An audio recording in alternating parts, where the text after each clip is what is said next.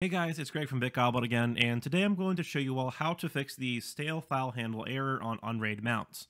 In layman's terms, the problem arises when Unraid moves files from the cache disk to the main array, thus changing the file's inodes and the SMB client isn't aware of the changes. The best way to fix this on Linux using SMB mounts is to add the No Server INO option to your etc fstab mount entry, just like so, then remount the share.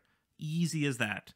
What this does is tells the client to ignore the server's file inodes and instead generate its own, avoiding the inode change issue when Unraid's mover runs. As for NFS mounts, unfortunately there is no no server INO equivalent, so as of now you're stuck with either disabling the cache for your share or disabling hard links under settings and then disk settings. These changes won't work for everyone, but worst case, you could switch to using SMB shares till there's a better fix. That's all you need for the fix, and hopefully by now your Unraid mounts should stop going stale. Don't forget to hit like and subscribe, and have a great day.